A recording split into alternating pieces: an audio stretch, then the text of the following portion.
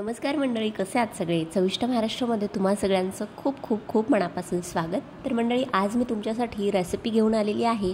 अगदी झटपट दहा मिनटात तयार होणाऱ्या दुधी भोपळ्याच्या थालीपीठांची. मुलं जर दुधी भोपळा किंवा इतर भाज्या खाण्यास कंटाळा करत असतील तर तुम्ही असे हे मऊ लुसलुशीत अगदी खमंग आणि चवदार असे झटपट तयार होणारे थालीपीठ त्यांना नक्कीच करून देऊ शकता. चला तर मग व्हिडिओला सुरुवात करूया. व्हिडिओ जर तुम्हाला मनापासून आवडला तर एक लाईक नक्की करा. तर सगळ्या सगळ्यात अगोदर मिक्सरचं छोटं भांडं घेतलेले आहे. भरपूर अशी मुठभर अशी कोथिंबीर घातलेली आहे स्वच्छ धुवून. पाच ते सहा तिखट हिरव्या मिरच्या घातलेल्या आहेत. त्यानंतर दहा ते पंधरा लसणाच्या पाकळ्या घातलेल्या आहेत. दोन चमचे मी इथं जिरं घालत आहे आणि छान याला वाटून घ्यायचं आहे. पाणी वगैरे काहीच घालायची गरज नाही आहे थोडंसं जाडसरच आपल्याला वाटण तयार करून घ्यायचं आहे. बघू शकता अशा पद्धतीने. तर हे वाटण आपलं हिरव्या मिरचीचं इथे तयार आहे ठेचा तयार आहे. त्यानंतर इथे मी एक दुधी किंवा दुधी भोपळा घेतलेला आहे. छोटा कोळा बघून घ्यायचा हिरव्या रंगाचा. आणि हो भोपळ्याची वरची जी साल आहे ती अशा पद्धतीने तुम्हाला स्लायसरनी काढून घ्यायची आहे. भोपळा विकत घेतल्यानंतर सगळ्यात अगोदर काकडीसारखी छोटीशी चकती किंवा तुकडा काढून खाऊन बघायचा कडू लागला तर त्या भोपळ्याची थालीपीठं किंवा कुठलाच पदार्थ करायचा नाही कारण तो इडिबल म्हणजे खाण्यायोग्य भोपळा नसतो. तर अशा पद्धतीने मी सगळा भोपळा आपला किसून घेतलेला आहे किसणीवरती त्यानंतर आपण जो ठेचा तयार करून घेतलेला होता हिरव्या मिरचीचा तो सगळा याच्यामध्ये मी ॲड केलेला आहे. तिखट तुमच्या आवडीनुसार तुम्ही कमी जास्त करू शकता.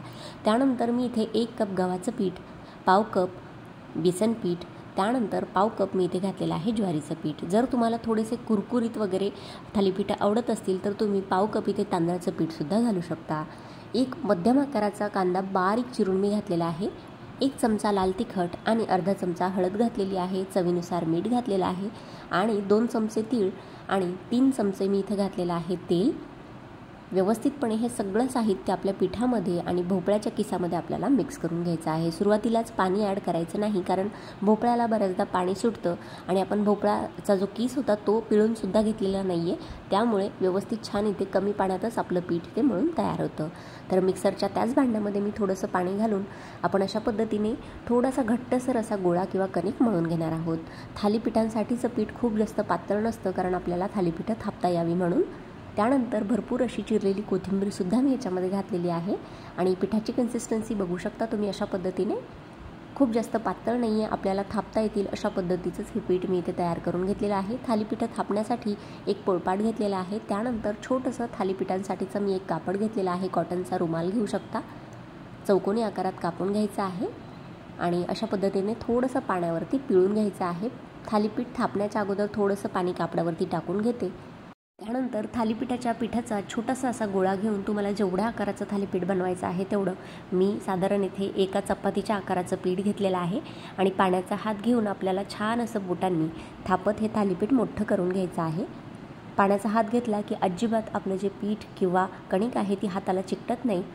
आणि पातळ असं तुम्हाला हे जे थालीपीठ आहे ते थापून घ्यायचं आहे. आणि हो याच्यामध्ये ज्या कुठल्या भाज्या किंवा कांदा वगैरे ॲड करणार आहात तो एकदम बारीक चिरून घ्यायचा म्हणजे थालीपीठं चिरत नाहीत तर अशा पद्धतीने आपण बोटाच्या साह्याने मस्त थालीपीठ थापून घेतलेलं आहे. त्यानंतर थालीपीठाच्या मधोमध आपण चार ते पाच अशा पद्धतीचे छिद्र किंवा होल्स करून घेणार आहोत. आणि थालीपीठं बऱ्यापैकी पातळ ठेवायची आहेत. म्हणजे खाताना ती कच्ची लागत नाही किंवा पिठाळ लागत नाही. थालीपीठ थापून झाल्यानंतर त्यावर मी थोडेसे सफेद तीळसुद्धा घातलेले आहेत. म्हणजे खायलासुद्धा छान लागतात आणि दिसायलासुद्धा थालीपीठ भाजण्यासाठी मी तवा इथे मध्यम गॅसवरती गरम करून घेतलेला आहे. एक चमचा तेल तव्यावरती सोडून घेते.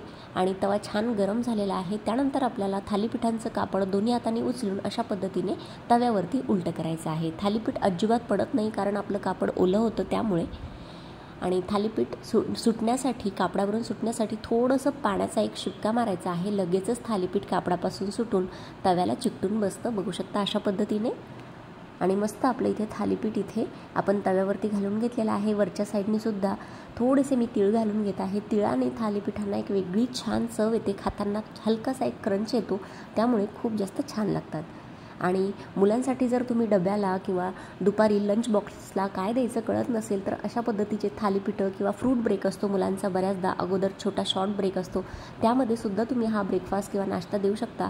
मुलांना अजिबात कळतसुद्धा नाही की याच्यामध्ये आपण भोपळा घातलेला आहे किंवा कुठल्याही भाज्या तुम्ही याच्यामध्ये घालू शकता.